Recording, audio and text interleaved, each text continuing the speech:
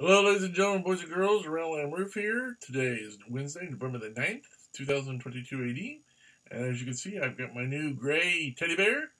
And I cut his tie off because, well, he's more casual. so, uh, he didn't like it. And neither did I. So, we cut it off. But aside from that, he's very soft and fluffy, very well made, cute and adorable. Yeah, I told him, I told him, you're cute and adorable. Uh, he doesn't really smile a whole lot. He just kind of like, mm. but anyway, overall, two thumbs up. I would be like this. He, he, he'd say two thumbs, but any thumbs. so anyway, it's very well made. It's cute and adorable. And I think any kid or any stuffed animal collector would love to have this. So, uh, until next time, uh, I'm with him. Don't know what his name is. Haven't given him one yet. And I'm Randall M. Saying thanks for watching. Have a good day. God bless.